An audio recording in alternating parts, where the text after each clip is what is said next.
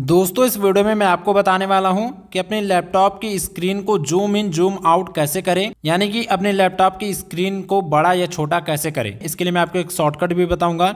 अगर आपके पास कंप्यूटर है तो कंप्यूटर में जो माउस होता है, उसमें स्क्रॉलर होता है। उससे आप जूम इन, जूम आउट कर सकते हैं। लेकिन लैपटॉप में जूम इन, जूम आउट करना थोड़ा सा ट्रिकी होता है। तो दोस्तों, इसके लिए देखिए, यहाँ पर आपको टास्क बार में एक सर्च बार मिलता है। इस पर क्लिक कीजिए और यहाँ से आप सर्च कर लीजिए magnifier M A G N I F जैसे आप ये लिखेंगे तो यहाँ पर मैग्नीफायर आ जाएगा, इसको आप क्लिक करके ओपन कर लीजिए। अब देखिए ये मैग्नीफायर है, इसमें आपको एक माइनस बटन दिखेगा और एक प्लस बटन दिखेगा। जैसे आप प्लस पर क्लिक करेंगे तो आपकी स्क्रीन जूम होती जाएगी, और जैसे आप माइनस पर क्लिक करेंगे तो स्क्रीन छोटी हो जाएगी। अब मान लीजिए आपने स्क्रीन को बड़ा कर दिया, और ये जो ऑप्शन है, ये आपकी स्क्रीन से गायब हो गया तो इसको जूम आउट कैसे करेंगे? तो आप अपने माउस के कर्सर को नीचे लेकर आइए, ऐसे नीचे लेकर आते जाइए। यहाँ टास्क बार में आइए टास्क बार में आपको मैग्नीफायर दिख जाएगा। अब यहाँ से आप इसको कट कर दीजिए, अब आपकी स्क्रीन जूम आउट हो जाएगी। इसके लिए मैं आपको एक शॉर्टकट भी बता देता हूँ।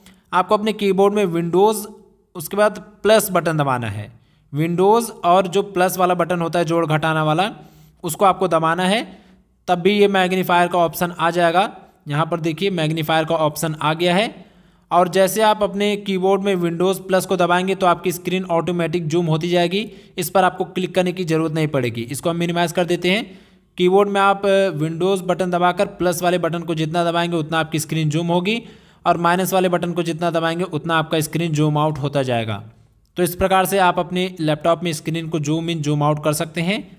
अगर आपको वीडियो पसंद आई हो, वीडियो हेल्पफुल लगा हो तो वीडियो को लाइक कीजिएगा। और अगर आपका कोई भी क्वेश्चन है तो कमेंट बॉक्स में ज़रूर से पूछ लीजिएगा।